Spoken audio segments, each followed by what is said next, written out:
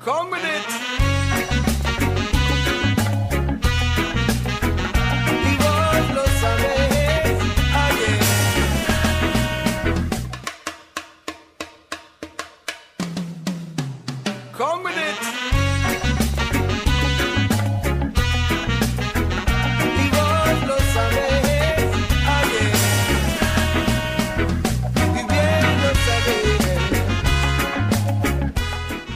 Bueno, acá estamos nuevamente en el programa Vos Sabés. Eh, ya tenemos a nuestra compañerísima Rosario Esperoé sentada. Ya hizo el rally por los niños, la madre. Sí, sí, y además el rally de hoy, buenas tardes a todos, buenas tardes compañeras, buenas tardes audiencia, que les debo decir que en el rally yo escucho la radio. Te escucha. Por, por... Te está cantando.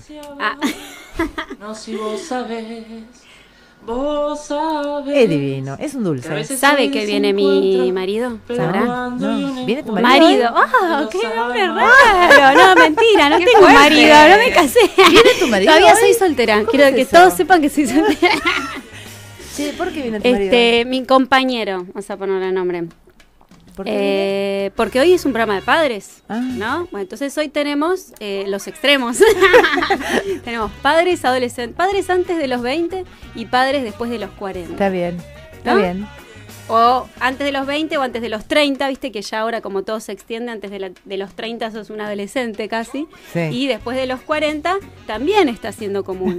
Así que bueno. Así que ahí tenemos, ahí, los trae- lo tenemos. traemos de testigo. Sí, sí, ahí lo tenemos al Mumi Aguirre, que es eh, mi hijastro.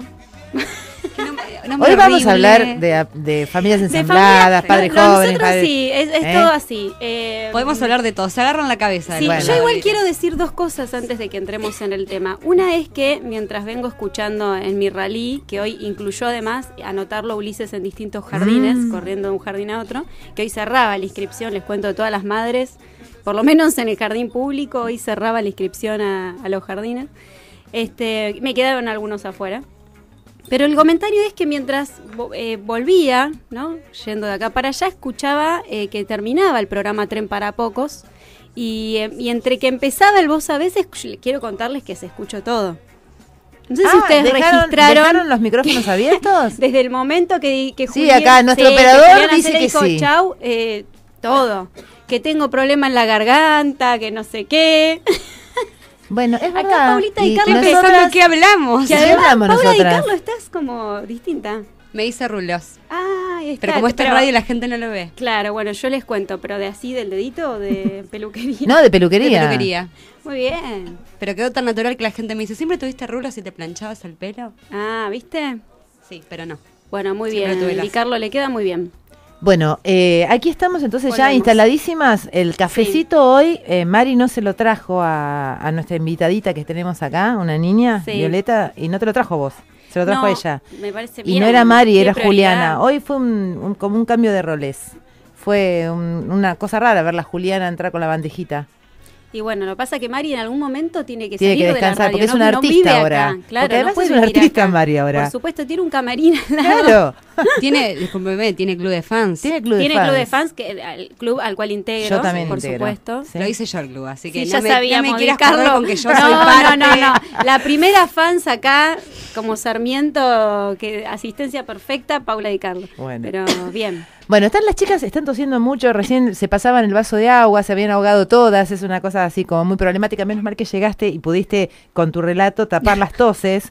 Pero bueno, estamos en un programa que va a arrancar en este momento formalmente le vamos a dar este, la palabra a nuestra columnista especializada en lactancia, que es la señora Florencia Espolidoro, que vino a hablar de no vino a hablar de cómo dar la teta, cuándo destetar, si se le puede dar a la teta a los dos nenes juntos, sino que vi- vino a hablar qué pito toca el padre durante la lactancia. Me hace gestos acá. Porque la, la expresión que elegiste usar fue como... Sí, sí, es un juego de palabras que da para un montón de otros que no voy a Sobre reproducir todo al aire. En, época de puerperio. Que, Por eso, claro, que el pito no, no, se que toca. básicamente Claro. poco y nada. Pero bueno. Bueno, entremos seriamente y formalmente a este programa, por favor. ¿Qué? Ribot, acá, ahora Ribot se pone colorado. Igual- yo no sé por qué, porque dice cada barbaridad entre los cortes. Yo quiero decir que viste que siempre pasa esto. Llega Rosario a este programa Y se desconcha. Es así, no es derrapa, se desconcha. Vos decís, pero con la seriedad que me caracteriza. Yo Pero no sé por qué, no sé por qué. Bueno, a ver, dale, dale, Bueno, Florencia. Florencia de Bienvenida Bahía vos Luz. Florencia, Bienvenida. esto es así, ¿Qué tal? Sí, he venido varias veces. Esto es así. Es como en casa. Estoy curtida. Eh, bueno, en realidad, como muchas que hemos dado la teta sabemos, dar la teta en general se necesita de otros. Eh, de otros que pueden ser la familia, que puede ser la familia extendida, que puede ser un grupo de mujeres. Pero en la- el momento en el que una mujer tiene pareja y decide dar la teta, se presenta un nuevo dilema, sobre todo con el primer hijo. Con el segundo el marido se resigna Claro, claro. y sabe lo que tiene que hacer. Pero con el primero suelen replantearse varias cuestiones que tienen que ver con los roles.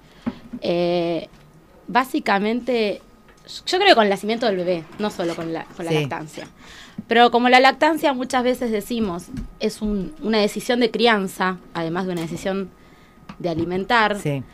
implica una dedicación muy exclusiva de la mamá con ese bebé y eso obliga a reacomodar roles, a repautar cosas, a charlar, a repensar, a que cada uno pueda ubicarse en el lugar adulto en el que se tiene que ubicar y esto quizás es lo que muchas veces cuesta aceitar. Digo muchas veces por lo que escuchamos en los grupos Sí. que muchas papás naturalmente encuentran el lugar, pueden ponerse disponibles o por ahí bien no saben cómo ayudar, pero están abiertos a escuchar, a entender que la ayuda pasa por el sostén, pasa por Claro. hacer cosas que seguramente no hacían y que los hacía la mujer y que la van a tener que empezar a hacer porque la mujer está muy dedicada a ese bebé eh, a reubicarse sexualmente también desde otro lugar, a entender que la sexualidad por ese tiempo va a pasar por otro lado, porque a la mujer le está pasando por otro lado. O sea, recordemos que amamantar es parte del ciclo sexual de la mujer. O sea, que la mujer está viviendo su sexualidad casi con la... Es un poco fuerte lo que digo, pero en realidad Sí, sí. casi con el amamantar. Eh, le queda poco espacio para la sexualidad de otro lugar. A la puérpera en general, pero a la que amamanta más todavía. Eh, y cuando el hombre puede ubicarse ahí, las cosas funcionan mejor para todos. Muchas veces cuesta un poco más, porque no siempre los hombres pueden tan naturalmente... A ver, no, no esto no es una cuestión en contra del hombre, sino que necesariamente la mujer lo está viviendo. O sea, a la mujer le pasa. No le queda otra que de alguna manera. Si vos decís que a la mujer no se, no se puede escapar y el varón puede ponerse en un rol o no, o hacerse el desentendido Sí. y Siempre y con un costo, me parece. Sí. Eh, digo, con un costo porque empieza a haber desacuerdos, fricciones, sí. malestares, porque el otro está esperando siempre otra cosa del otro. O sea, la mujer está esperando que el hombre haga una cosa y el hombre está esperando que la mujer haga otra cosa. Igual se me ocurre que quizás, eh, estaba pensando, sea alguno, uno de los temas que, que deberían, no sé si, si, si hay como algo pensado alrededor de eso, eh, trabajarse durante todo el embarazo. Seguro. Porque, digo, como, como un montón de otras cosas que hemos charlado, el hombre puede comprenderlas más o menos, pero la realidad que quien las está viviendo, sintiendo, es la mujer.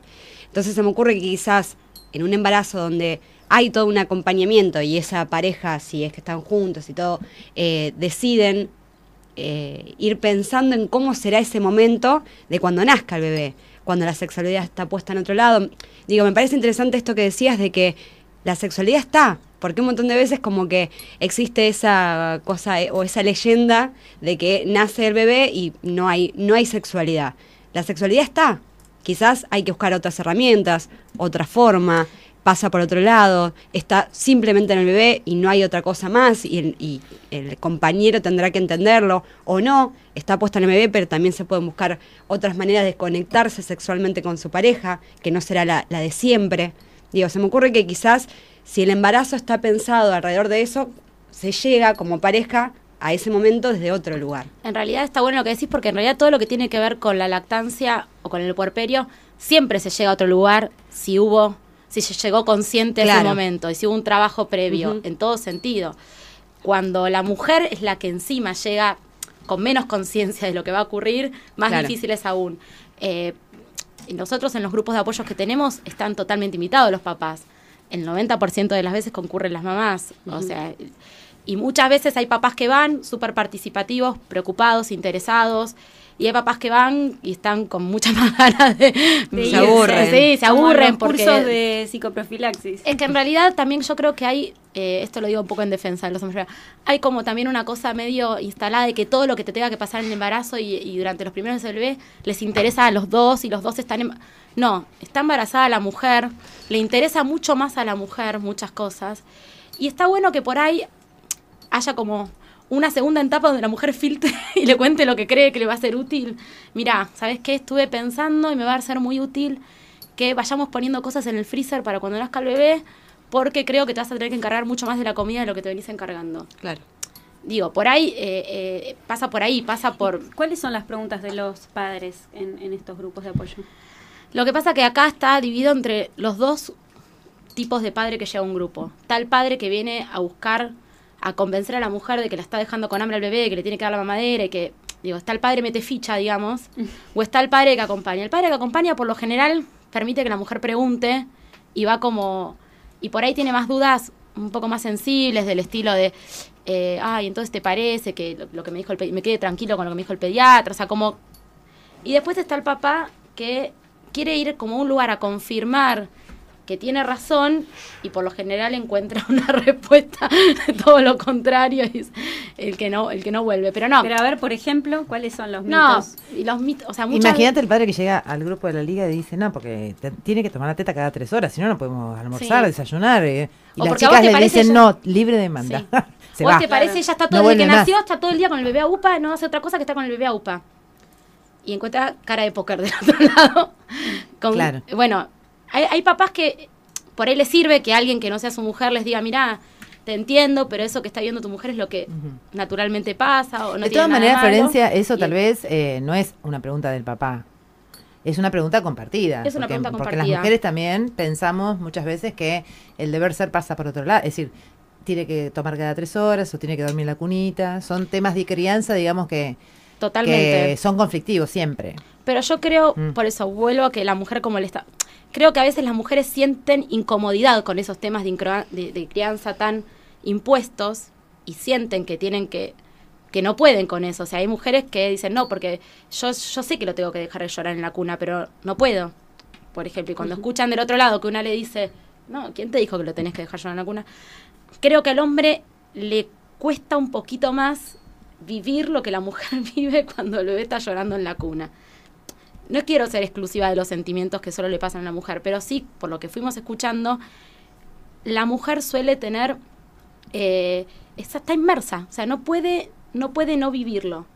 Y el hombre depende, depende, y, y creo que también va, va cambiando a lo largo de, de la llegada de ese bebé. Hay hombres que están súper estrictos y van acomodándose, hay hombres que, que, que pueden ir reflexionando y van, van dándose cuenta que algunas cosas que pensaban y que creían no, no eran así. O sea, eh, como todas las parejas, están las parejas que tienen, van a tener más posibilidad de flexibilizar y de poder adaptarse y las parejas que, que no tanto. Sí. Pero también es interesante pensar que para nosotras la lactancia dura hasta los dos años o más y que pasa mucho tiempo y que sí hay un momento, como dice Laura Gutman, que por ahí ustedes ya lo habrán escuchado, Sí.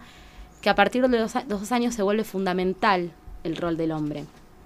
Y cuando el hombre empieza a reconocer y a vivir eso, esto lo digo como mamá también, cuando el hombre se empieza a dar cuenta que hay lugar para él, que a partir de los dos años los bebés empiezan a tener ganas de estar con su papá, empiezan a necesitar estar con su papá, lo empiezan a buscar, el papá empieza a tener ganas también porque siente que hay un ida y vuelta, o sea, se empiezan como a afianzar esos vínculos, eh, todo empieza a fluir de otra manera. Eh, Nos escribe María Agostina a través del Facebook que dice que es eh, la primera vez que nos escucha, además así que le damos la bienvenida. Dice que a ella le encanta dormir eh, con, con su bebé y que le encanta tener la UPA y que todo el mundo le dice que está mal y que cómo puede estar mal algo que ella siente que quiere hacer. Sí, Y, y se me ocurre que quizás también es un tema que también involucra a los padres, el bebé durmiendo en la cama. Es que por eso yo empecé con lo de la sexualidad. No es que, que vaya, que no creo que sea el único tema, pero creo que es un tema que eso sí es como una, una constante cuando aparece el tema con los hombres en los grupos. Eh, la mujer, como decíamos, transforma totalmente su deseo sexual después del parto. El hombre no. O sea, el hombre está exactamente igual, con el deseo puesto en el objeto, mujer, no en el objeto para objetivizarla, pero sí en, en ese lugar puesto, el deseo igual que antes y no tuvo ninguna transformación. Por lo tanto, cuesta poder entender que la cama, que hasta ese momento representaba la sexualidad, o el sexo, mejor dicho, ahora representa otra cosa para la mujer. ¿Será así con todos los padres? No creo. No Eh, creo. Y no, no quiero generalizar. Sí. Y, y- hay Es verdad de que variables. esto lo escuchamos seguido, digamos. Esta cosa de yo no quiero, estoy cansada, lo único que quiero es la teta y, y cuando se duerme bebé quiero dormir.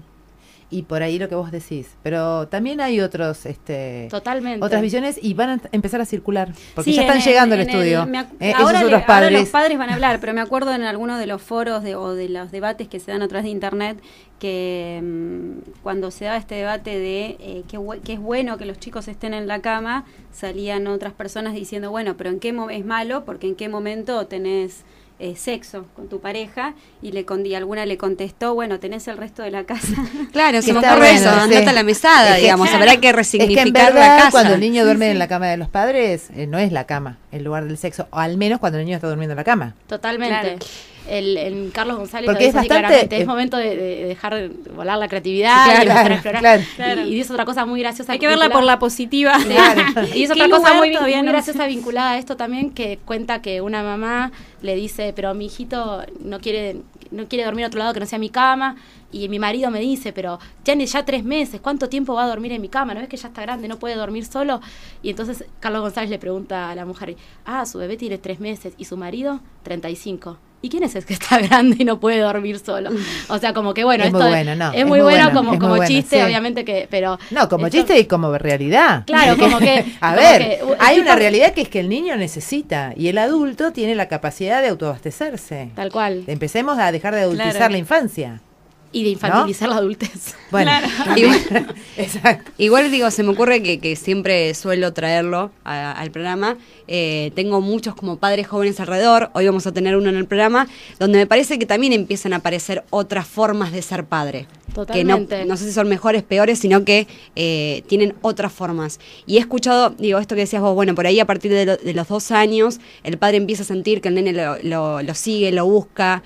eh, y, y en las paternidades que he visto en este último tiempo, de veinte y pico años jóvenes, hay mucho de la mujer a los dos o tres meses yéndose a comer con sus amigas y el hombre pidiéndole que lo deje, porque, o que la deje, porque la unión o la conexión que puede provocar el padre con el nene o la nena sin la presencia de la madre, también me parece que, que está bueno. Totalmente. Y hay otra cosa que tampoco hablamos, pero que me parece que está bueno tener en cuenta, es el lugar importante que cumplen los hombres cuando hay hermanitos mayores. Claro. Porque cuando nace un bebé y la mamá está tan dedicada, eh, es fundamental que el papá pueda sostener al hermano mayor y que pueda generar ahí, porque ahí es donde más se lo va a necesitar. Y por lo general son buenos momentos para todos, digamos, para ese hermano que no se siente desplazado porque tiene a su papá casi tan exclusivo como la mamá tiene a su bebé, y, y- y surgen otras cosas. Aparte, a ver, lo- no, quiero, no quiero resultar como antipadre, porque todo lo contrario, le mando un beso a mi marido. Lo está escuchando, la verdad que no, no nos avivamos de traerlo a este programa. No, no. Claro, Hoy vienen los flojas, maridos, estuvimos estuvimos flojas. Bueno, no, y por ejemplo, cuando alguien, yo me recontra copé con la lactancia, pero cuando la lactancia te atraviesa tanto, por ejemplo, como en mi caso, toda tu familia se vuelve como medio fanática y mi marido era como un promotor de lactancia en lugares donde iba. El otro día me pidió eh, papeles para una alumna que tenía embarazada en la facultad. Entonces, como que también eh, hay formas de que todos se puedan integrar y yo volví de la primera reunión de la Liga de la Leche ya con la, con la cabeza lavada de la teta diciéndole, voy a ir siempre y no sabes ir. eh". Y mi marido me dijo, ay, bueno, te veo recopada, te encanta. O sea, Claro. como que bueno, Bueno, por lo pronto eso es fundamental, que, que el padre Claro. comprenda y, las y acompañe las decisiones de la mujer, eso es fundamental, porque lo otro es esto, ¿no? Es que querés dormir con el bebé y el hombre no quiere, o querés darle teta y el hombre no, bueno, ahí es, es donde puede haber conflictos para todos. Totalmente. Eh, por ahí el, el rol del hombre es ese también, comprender Sí, es- esa acompañar. unidad, ese binomio madre-hijo. Y Totalmente. si son tres los que nacen, ni te cuento, ahí el padre sí tiene que andar teniendo... Y ahí yo supongo que Claro. no, no, no tuve la Ahí es experiencia directa. pero indispensable el padre. Supongo que sí o sí tiene que estar como una a la par, a una par importante. Mientras tanto, le mandamos un, beto- un beso a Amparito Hernández que, que creo que le debe haber quedado bastante claro porque preguntaba, te hacía, te hacía una pregunta a vos, calculo Florencia, que dice que tiene una nena de dos años y dos meses y quisiera que tomara menos teta y, y que le deje un poco porque le duele mucho la- de noche porque le duele mucho la espalda. Entonces pregunta, si bien fue criada con apego, como dice ella, eh, y practican el colecho, ¿cómo puede ayudar el papá? Que lo acabas de decir, ¿no? Y- Ese rol importante del papá para despegar. Por ejemplo, el eh, papá es fundamental el destete. años.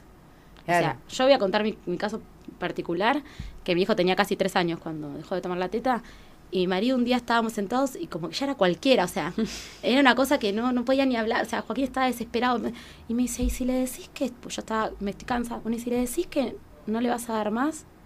Yo dije, ah, bueno. Así de fácil, Sí. claro. Y me dice, no, digámosle. Y nos sentamos y le dijimos, mira, Joaquín, estás grande, yo estoy muy cansada, ya no disfruto tanto, no sé qué. Y no me pidió Y, nunca más. y tu marido estuvo con vos en ese diálogo. Y fue quien, quien tuvo la... Yo creo que no hubiese podido tomar esa decisión porque yo estaba muy comprometida emocionalmente con eso. Y como que tenía la fantasía de hasta los 15 años. Viste, como una Sí. cosa de que no podía cortarlo. Estaba, me copé con la lactancia. Claro. Sí. Mamá, me voy a Bariloche. Claro. Ay, no, pero para que te junto leche Para y que te te, llevas en que me saco leche. Bueno, esto, esto, esto derrapó Se dan verdaderamente. cuenta que no soy yo solamente, Florencia, venir en todos los No, yo programas. soy una muy mal favor, lo compañía. Reconozco que soy una muy mal compañía. Esperá que te la llevas en un termito. Una mala influencia. diría. Bueno, Bueno, Ahí estamos está. ahí a punto de, de derrapar nosotras, estamos en horario de corte. no, esto es muy gracioso. Están, ya tenemos dos padres acá, detrás del vidrio, que están esperando venir a Se ríe Rosario Perú no para. Las cosas que uno se le pasan por la cabeza. Igual antes de déjenme terminar, ver, déjenme pasar dame. un chivo. Un Dale, chivo para dale mi marido que el se lo merece. A ver. Que le hizo una canción a mi hijo hermosa y mañana toca. No, voy a decir el ¿cómo no papelito y voy a decir Pará, dónde Florencia. toca, así lo van a escuchar a cantar. con la No, canción no, ¿Qué le hizo? Una. ¿Cómo se llama la canción? Eh, Don Joaquín. Don Joaquín. Sí, es un Joaquín se tipo llama una chacarera, sí. En el Centro Cultural Azul Unala, 69, 12 y 13. Ay, lo vamos a poner. Mañana a las 21 muro. horas. Bueno, está Ay, bueno, ¿eh? A ver, si no saben a dónde ir, vayan a escuchar el, el tema Don Joaquín, acá, 69, entre 12 y 13, Centro Cultural Azul. Azul Unala. Ahí está. Le mandamos un beso Muy bien. también a todas las, las mujeres que nos están siguiendo por el Facebook y que dicen que se ríen a la par nuestra. Así que estamos haciendo tentar. sí, es Esa- un programa divertido, vos sabés. ¿eh? Bueno, vamos al corte. Sí, nos vamos Y al corte volvemos, y volvemos sigue, enseguida. sigue. Sí.